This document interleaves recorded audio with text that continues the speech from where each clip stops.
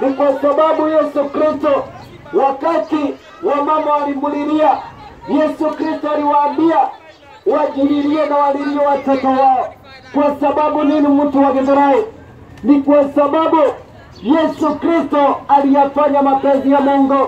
Yesu Kristo kufa msalabani, alikufa ili mapenzi ya Mungu itendeke, atukomboe katika njia za giza, atukomboe katika ufalme wa kufungwa, atukomboe katika jinsi ya dhambi, na ndiposa Yesu Kristo akafa msalabani na wakati Yesu Kristo alipokufa msalabani, alikufa ili ukauona uzima wa milele.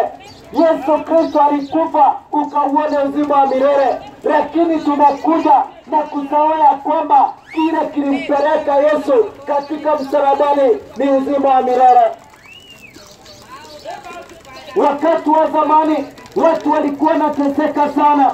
Wakati mtenda dhambi angetenda dhambi, wengine wangepigwa na mawe, wengine wangesurubiwa, wengine wangefanyiwa mambo machafu ambayo ilikuwa wakati wa kale, kwa sababu hakukuwa na neema. Na wakati huo wa kale, Yesu Kristo kabla hajakufa msalabani, ilikuwa wakati wa hatari, na ndiposa hakukuwa na neema mingi lakini wakati huu ambao Mungu ameachilia neema yake kupitia njia zake mfalme Yesu Kristo, watu wamesahau ya kwamba Mungu aliyafanya hayo ili ya ufalme wa mbinguni.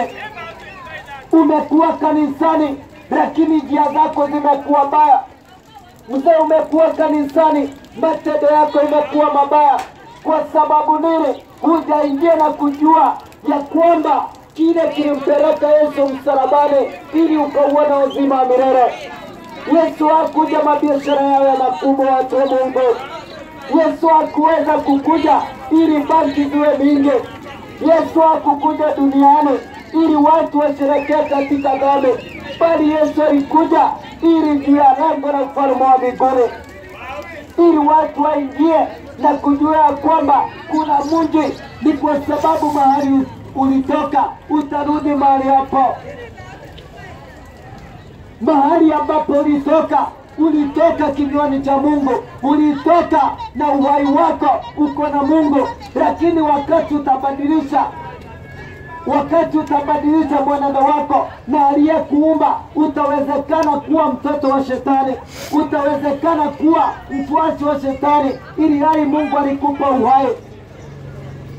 Mungu alikupa uhai na akakuleta dunia ili mfanane, na ndiposa neno linasema Mungu wakati alipotaka kuumba mwanadamu, Mungu alisema hivi, wacha na tuumbe mwanadamu aliyefanana na yeye, mwanadamu aliyefanana na Mungu, jinsi ile mwanadamu anayefanana na Mungu anakaa, sio mwili peke yake, kwa maana Mungu hana mwili wa nyama na damu.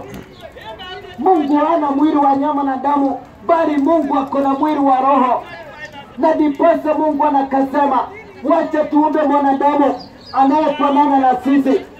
Mwanadamu anayefanana na Mungu ni mwanadamu anayeishi maisha matakatifu, maisha matakatifu kama Mungu.